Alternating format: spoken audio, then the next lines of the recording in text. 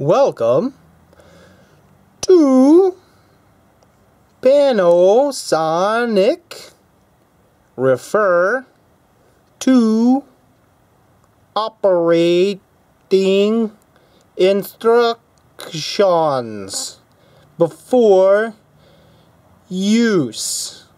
Use? Wait a minute. Wait a minute. Let's see here. 30 seconds. Well, this doesn't look like much of a microwave to me. Oh man, you guys are in for a treat. You're in for a treat. Look at that. 20 seconds left. Oh. Yep. Now we're getting some good stuff out of it. Don't worry. I'm not too concerned about the magic smoke. There's lots of magic smoke in this puppy. You just gotta get it warm. Gotta get it warm. I am loving this microwave. Yep. Give me some more. Come on. Give me more. You got more? You got more? Yep. Give me some. Alright, one more. One more. Oh. It smells terrible. There's a reason why I don't smoke. You guys want to know more about what the heck you just saw? Stick around for this video. It's a little lengthy, but I think it's worth it. There's a lot more magic smoke where that came from. okay, fine. One more.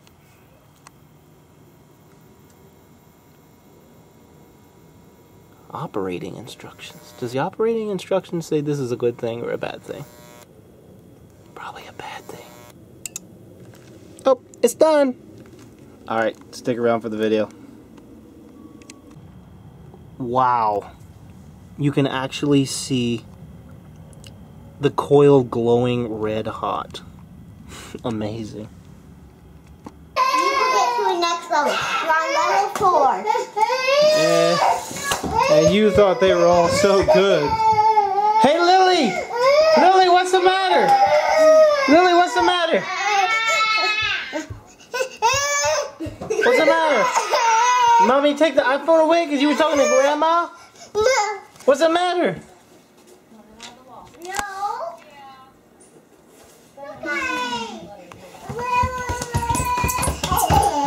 Anyway, say hi. Hi. You gonna help me with this? Okay, so you have to ignore the noise, but I found this by the dumpster. Panasonic inverted, not uh, transformed, and blah blah blah blah. I don't really know the wattage. I can figure it out, but basically it's uh, 17.2 amps, 120 volts, 60 hertz, and it was made in October 2004. Now here's the thing. You can smell the ozone and you can hear the arc. Watch. Everyone be real quiet.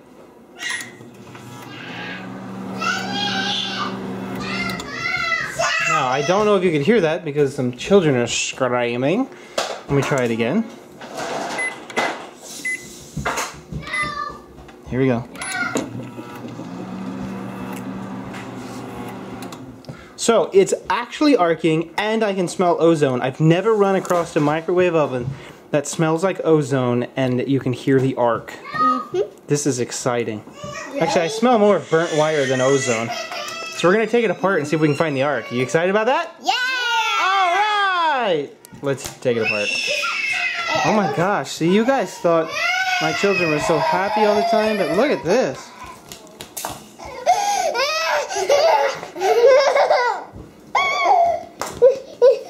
You alright, kids? Bye. Yeah, okay, bye. Okay, I got my children shielded from the radiation, if there is any. Let's see what happens. You guys stay over there, Dexter, for a little bit. Stay over there.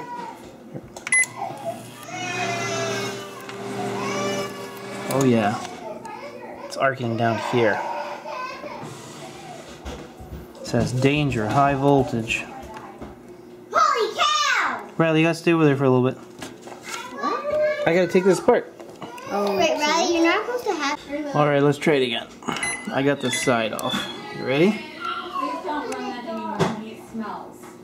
Please don't run that anymore. It smells. What? It smells. You're not eating. So I know I'm not eating. Yay! I'm not eating this time. Hey, watch this. You ready? It smells horrible. Oh, see the flame? Let's try it again. You're not gonna cause an explosion, right? Sure. There is a small possibility that this could catch on fire. Yes. Okay, so let's not do that in the house. Okay, it does smell pretty bad. Don't need that fume smelling within. Whew. All right, we'll do a little more deeper investigation, but we have a nice flame. One more time, don't tell anybody.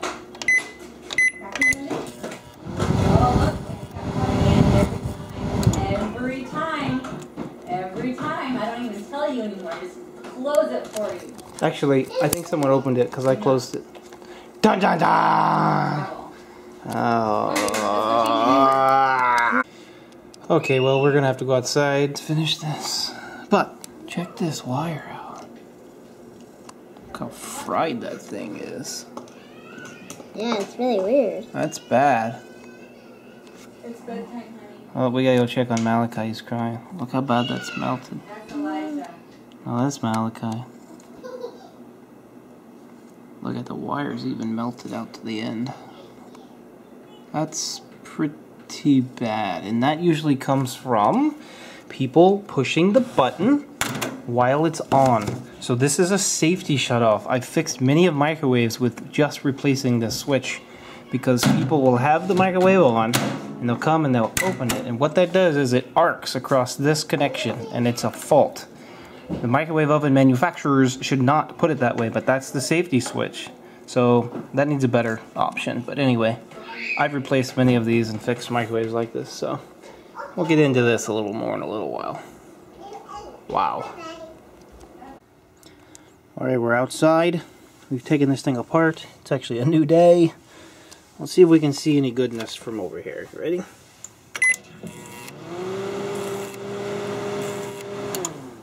Nope, only smoke rolling out of there. So it's it must be shorting against the the inside. See the smoke? Uh, let's get a different view. See what we can get. Oops. Sure does stink. There we go.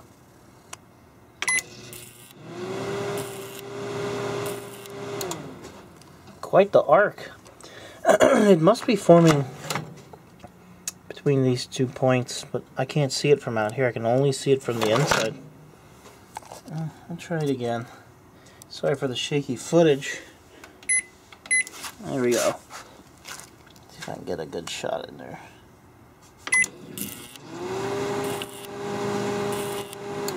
Ow, I just got shocked touching the metal frame. Man, that stinks. I kind of want to keep doing this until it, like, blows up.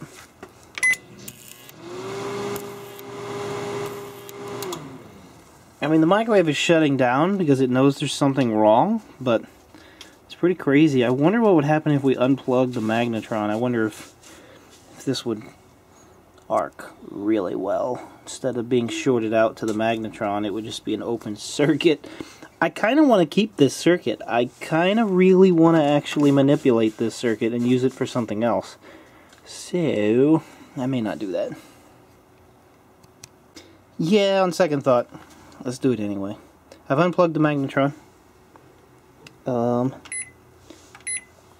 hopefully nothing explodes in my face. Ready?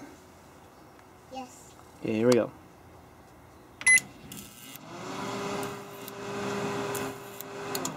Hmm. Nothing real exciting, Elijah. Trying again for fun. I really enjoy watching the fireball.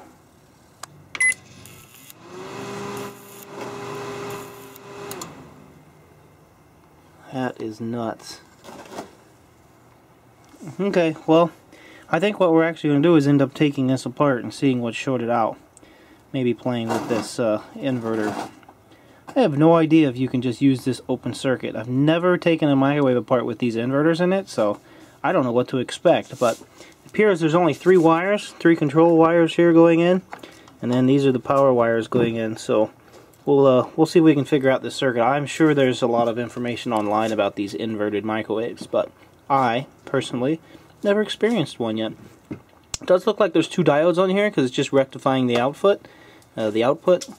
So that's kind of different. Normally there's only a single diode into a capacitor from the uh, transformer, but in this case it's sort of different. Um, it appears there is like a feedback circuit. There is this really small two wire right in there, those two small ones, and you've got the two bigger small ones, and you've got the primary drive circuit. Uh, looks like there's actually uh, something in the middle here too. Maybe that's another pickup coil. So that's kind of my concern is if I try to use this circuit on something different, uh, if it's even going to work right because of how this is configured. But hey, a little more digging. I think I have to dig some more and find out how these inverter boards work. I bet you it's just on control and maybe like a voltage control. There's three wires on there. So, I don't know. Let me know in the comments if you know a whole lot about these things and if this thing would be useful to, I don't know, let's say drive a Rodin coil. Peace out. Bye, Elijah. And you're done. We're going to bypass as many of these safeties as we can get. Here's that switch again. Bypass as many safeties as we can get, and we're going to keep firing this bad boy up. Um, yeah, it's a nice little external unit to play around with. Yeah? Yes. Alright. This is junk. Well, I cut the end off this wire. You can see how bad this is. I look, the they're stuck together pretty good. They are melted together. That's bad. I don't know if that's bad engineering or just bad design, but that's bad. well, we don't need all this nonsense. All we really need is to take the fuse out. I blew it up on accident. Not short the neutral out the ground. That won't do anything, by the way. They're tied back to the box in the same rail. And uh, short this guy out. And I left this hooked up just because. So here we go. Yay! We have a fireball making machine. So yeah, we just got these few components. Now, uh, what I should do is figure out what kind of signal comes in here by probing it with the oscilloscope, and then I can just activate it without any of this. Hmm, because see the safety circuit's built in over here. So if we can bypass this safety circuit via th this area, better be careful. If I can bypass that over here by just introducing a, uh, a voltage of whatever, I don't know if it's a pulse width modulated thing or just signals, but uh, if I can just put this, activate this, it might even be a short, might even be just a short to ground or something. So let's check that with the oscilloscope or the meter or something and find out what we got here. Let's try it again. Oh yeah. Oh yeah. Then we can just run it for five minutes and see if it blows up. Elijah, what are you doing? Nothing. Did you pull those wires out? No. Who did? Looks like you got your own problems, don't you? Looks like you're gonna be just like me. Ugh. Oh, I'm not the only one tearing stuff apart. Ah. Okay, so what you're about to watch was recorded earlier, and unfortunately I just now figured out that I had the oscilloscope probes set on times 1, so everything is complete 10 times off. So anything I mention is actually 10 times higher, so 500 milliamps is actually 5 volts. Just FYI. Uh, the oscilloscope to the rescue. Okay, so I think I know which one's ground, and I hope I got it right. It's the yellow one. I might be wrong. Uh, so we're going to try to start this and see what we get over here. Oh yeah, we got a bunch of noise is what we get. Alright. I'm gonna try to set this up and see if we can see anything worthwhile. Oh, it's getting dark outside. It's getting dark. So look, I set this thing to pulse mode and trigger one mode, so a single pulse. So it's just acquired a signal and now it's just sitting here. So if we zoom into this signal, we can see that it is definitely pulse width and there's a helicopter because that's what happens when you're outside in California and LA especially. Uh, so I don't know what to make of that. Let's just set this and do a let's do a, another single trigger. It says it's ready, but I don't see it running. All right, single trigger. Let's see what happens.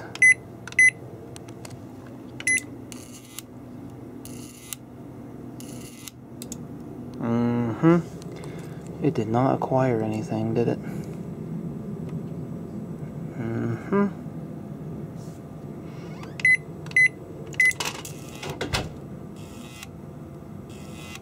See that nice signal? Let's turn one back on. Let's try that again. With the flame in the background.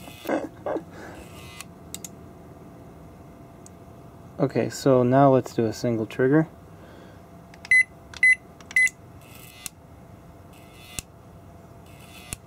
And apparently it didn't catch anything. Let's try it again. Alright. There we go.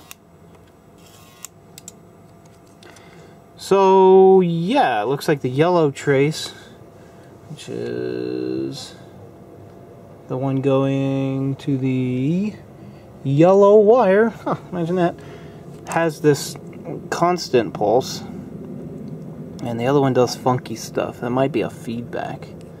Try it one more time. Alright, here we go again.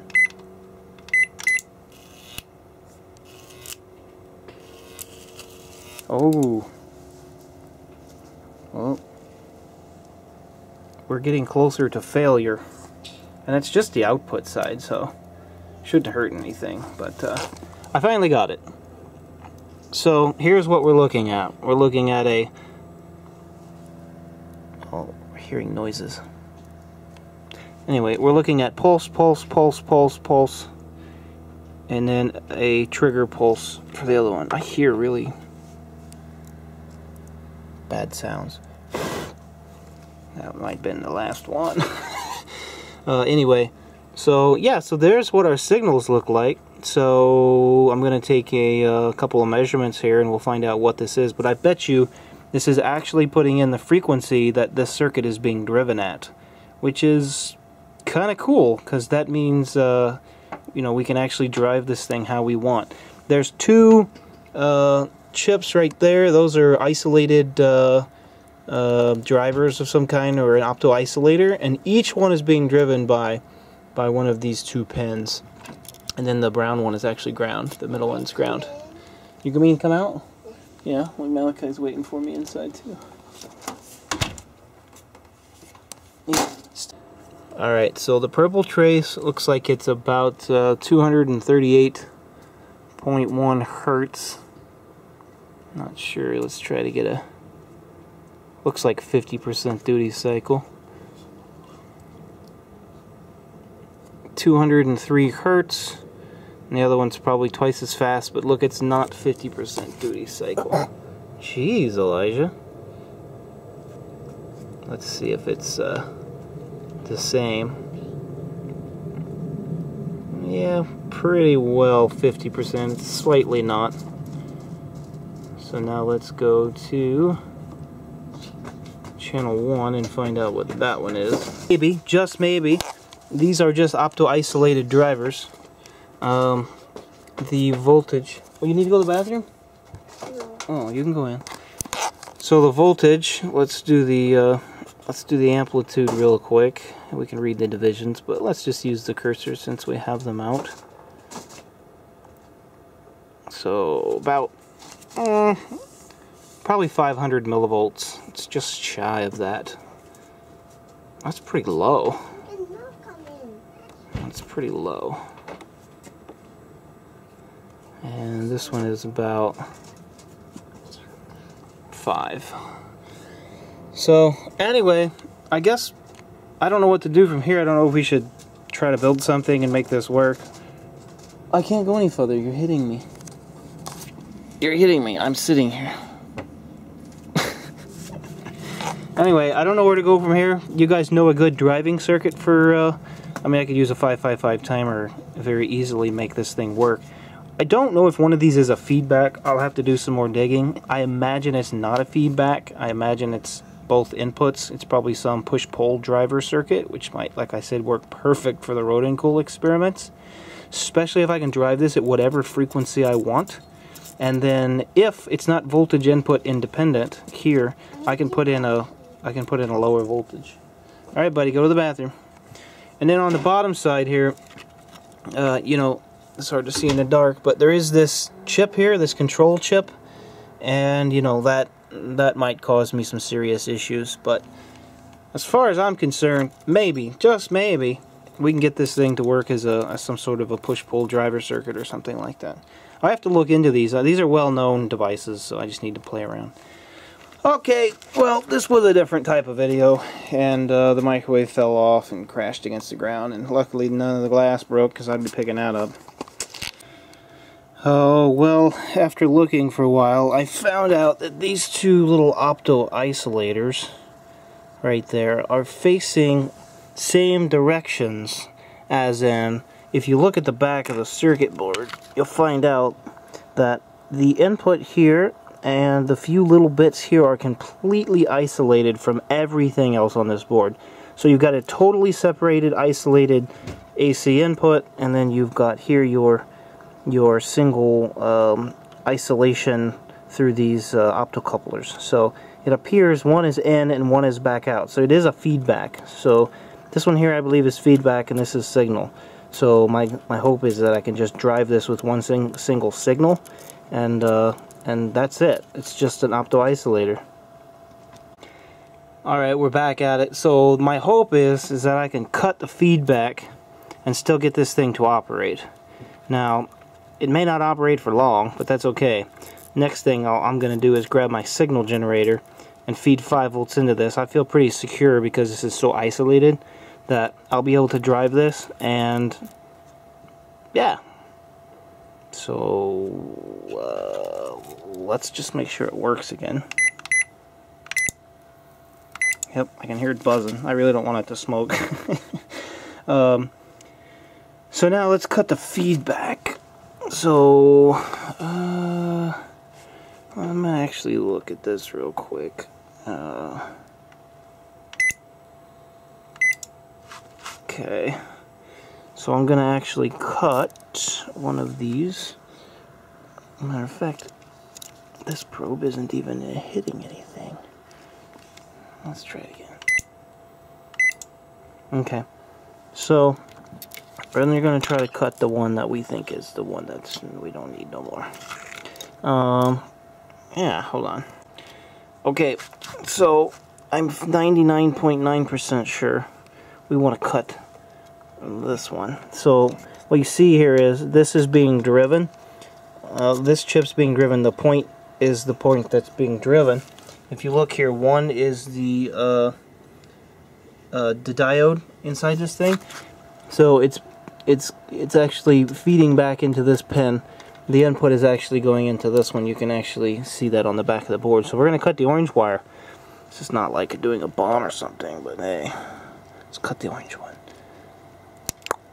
Okay, now what's going to happen is this might turn on for a second, or it might do nothing. Ready? Okay, it's still working, and it's still trying to operate you can hear it with this wire completely disconnected.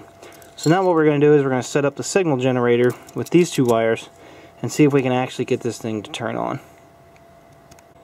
Okay, so after I clipped this wire, I ran the signal and I paused it here so we could make sure we look at it. It's right around 230 hertz. So what we're going to do is get our signal generator and put it at that. And uh, it looks like the pulse width uh, changes, maybe depending on its feedback here. So we're just going to put it at 50-50, call it good, see what happens. Okay guys, I got the signal generator set to 230 hertz. I got the amplitude set to 5. No offset. Uh, the duty cycle is 50. Alright, and I've got that hooked up directly to my ground and my positive going to the opto isolator. The feedback is just hanging there. I managed to be able to just plug directly in the AC. So let's try plugging this in and hopefully everything's cool. Okay, so the moment of truth. Can you trick a microwave oven inverter coil to just function off a simple oscillating source? I swear I hear noises. Anyway, moment of truth. All I have to do is turn this on and turn it right back off, and it should work. So, yeah, hopefully nothing explodes. Here we go. Yep, I hear it working. Alright, I'm going to do it again. Ready? Hear it? That is freaking awesome. I'll let a little smoke out. Just a little. I don't want to do too much because I want to sort of save this board now. You hear it? The crazy thing is, is you see how dark that coil is right there? That one? You could actually see it glowing red hot earlier. It was just shorted out. I'm going to actually change the duty cycle and see if we can get a little more power out of it. I'm gonna go with I'm gonna go with 80. All right, here we go. I'd have to check the output of this thing and see if it's um, if the duty cycle is actually changing anything, but I think it is. Now, the best part about this, let me unplug this so I don't electrocute myself. The best part about this is that the optolated, ins, uh, optolated ISO input, opto isolator, actually has a built-in resistor right there. So we don't have to worry about blowing up the uh, diode inside this. It actually has its own uh, resistor which is just amazing. So you might be able to find these boards off of eBay or something and uh, if you're like 20 bucks or less and that's a pretty nice driving circuit. Look how charred that coil is in there. That was the one that was bad. Anyway, totally successfully turned a standard signal generated. Now, the next thing is is just to build a very simple 555 timer oscillator and be done with it. You can totally make this a perfect circuit. So again, this is your driving coil. Um, now the only concern is, is there any internal feedback loop uh, that this, you know, chip down here deals with? And that's what I do not know. And we'll have to eventually play with that. But for now I don't really care. I just wanted to see if I could get that to work. So yeah, completely disconnected from all the, the crap. Alright, I hope you guys enjoyed this one. I know I enjoyed uh, playing around with this. That's a bright light. So yeah, peace and love, God bless, leave a comment. Yeah, I got nothing else. I'm, I'm seriously impressed and surprised. It's just that simple. I love it when things work. We might have a really fun push-pull drive circuit for uh, the Rodin coil. I still don't know if this is a push-pull, but I imagine it is. Alright, bye. Alright, just a little follow-up video. You have to ignore the background noises. Um, so I took this apart because I wanted to get a little bit closer look at what the heck's going on here.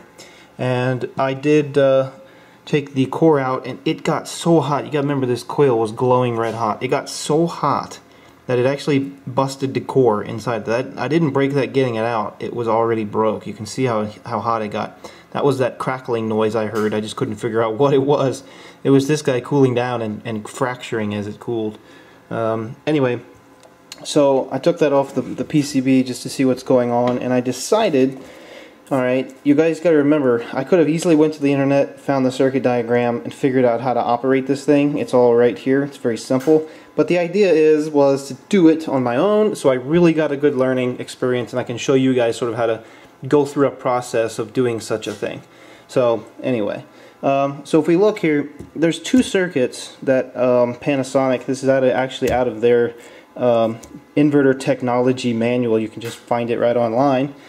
So there's a two schematics. One is this one, and it has some sort of a feedback loop, and it goes back to the main board, which then comes back into here. So it's only a single opto-isolator out and an actual connected feedback going to the main board, which is sort of a bad idea. There's no isolation except for this transformer. So if you get a really big spike here or something, it's going to mess this board up. So this is the first version. Okay, it's got two um, IGBTs in it, and the version here, which I found on the same document, for some reason they included both of them. This one is the new style. So this has an opto-isolated output and an opto-isolated input. Um, here they showed us showed to show you the power control, start control, switching one, switching two for the two IGBT protector circuit, and a uh, low voltage detect detective circuit. Here they don't label these; they just give you pin numbers on that IC, is kind of unfortunate because the IC is well unknown. Actually, there is a part number on there, but I think someone else tried to find it and couldn't. Maybe you can. What's that say? 435C7324. Anyway, I'll make sure this is camera stable. Okay, anyway, so we can see here it's a very basic input. Perfect. Now here's what I really, really like about this. There's no feedback circuit here. The only feedback you get is what potentially you get through this line 15 here. Okay, so it looks like that is probably your feedback and it's only a single IGBT. So it's it's a different setup, but I think this is better because we don't have to worry about some feedback. And actually this goes back to the main board and not really to the control circuit, so I guess that wouldn't matter. Anyway, the point is is that here's the schematic and here's how it works. Here's how it's configured and we should be able to basically take this direct output alright it's an LC tuned circuit but uh, according to here um, this is the explanation okay so it can supply up to 4,000 volts DC to the magnetron tube um, the high voltage transformer is driven by a PWM pulse, pulse width modulated signal generated by the microprocessor in the DPC, digital programming circuit, which is actually the main board, not the inverter board. It's on the main board.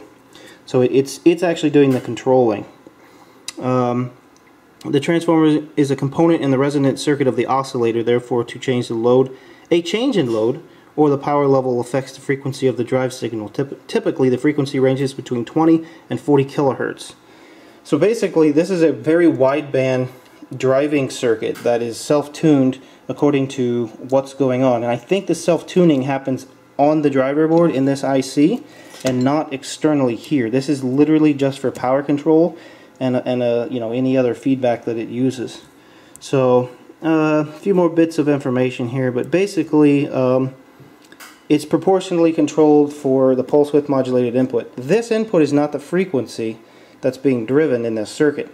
This is purely just a pulse width modulated zero on time to 100% on time and that's the power output from like 0 to 1500 watts so that's pretty impressive um, so in the future you'll probably see me playing around with this the only kind of bad thing is is it does have a low voltage uh, detected detective circuit here so if we basically don't want to put AC in here but let's say we want to hook this up to uh, 50 volts AC we can just bypass the bridge rectifier and we can put a DC input. We can get rid of the AC component altogether and use straight DC input where the uh, bridge rectifier is connected and do whatever we want with this circuit. But the thing is we may have to manipulate this low voltage detective circuit. We may need to add a small driver. But I suspect that this thing will operate uh, down to a pretty minimal voltage because I don't know what the circuitry runs at, but it's probably logic level because uh, the input and output's logic level, so it's probably TTL or something like that. So really, really nice. And apparently, the, the Panasonic makes like uh, is the main manufacturer of the inverter microwaves, and they're all like identical. There's either this newer version or this older version, and there's probably a new one past this. This was 2004, so it's pretty old. Uh, so there may be even a newer one, but uh, they probably still use the same one. Anyway, I'll quit talking. I just wanted to let you know that it was really fun playing with this thing and learning how it worked without going to the internet and looking up the schematic, which was really readily available, and I could have easily skipped a bunch of steps, but it was more fun to show you guys how to do it. Alright, have a good day. Back to yesterday's video on the ending. Bye. Anyway, that's it. Russ out. Have a good night. Leave me a comment. This was a little bit different, but uh, that's what you get. Malachi! Hi! Say bye-bye. Say bye-bye. Bye-bye. Okay. Want this? Oh, that'll make you happy. That'll make you... Oh! That'll make me happy. Does that make you happy? Yeah? Can I have it back? Can I have it back? Oh, high fives? Can I have my phone? Can I have that? Let me have that. Let me have that. Come on, let me have that. Can I have my phone? Yeah, give me that. Can I have it? Okay. Can I have this? Can I have this? Give it to daddy. Put it in my hand. Take it. See? And the world just ended.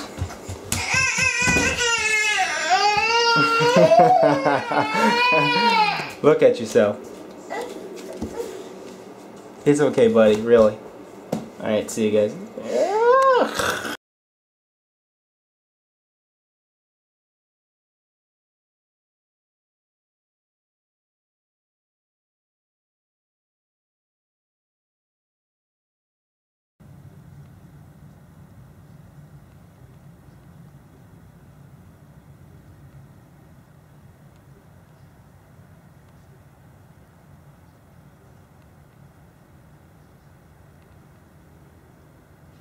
Operating instructions.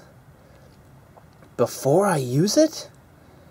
Uh, I don't think so. Let's try 30. This is gonna go.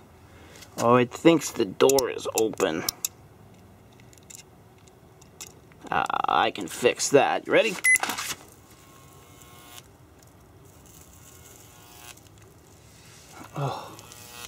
Oh, the smoke is getting out. Let's try it again. I want to see something happen. Oh. Oh. Oh my goodness. Try it again. I think there'll be something left when it's all over. Oh my goodness. Amazing. Oh, that smells terrible.